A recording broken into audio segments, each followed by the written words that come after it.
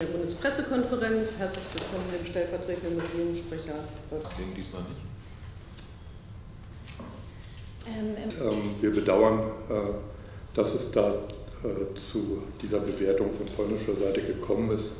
Die Suche nach den Ursachen für das Fischsterben in der Oder ist ja nach wie vor nicht abgeschlossen. Äh, mittlerweile gibt es mehrere organische und anorganische Substanzen, die dafür verantwortlich sein können. Es scheint sich da wirklich um einen Chemie-Cocktail zu handeln. Da und Fischsterben, damit beginnen, bitte schön, Herr Keine dieser Substanzen hat nach unseren bisherigen Erkenntnissen allein zum Fischsterben geführt. Es ist weiter davon auszugehen, dass es sich um ein multikausales Ereignis handeln könnte. Äh, von keiner Seite und zu keiner Zeit äh, wurde in Deutschland aber behauptet, dass die Pestizide allein ursächlich für das Fischsterben gewesen seien.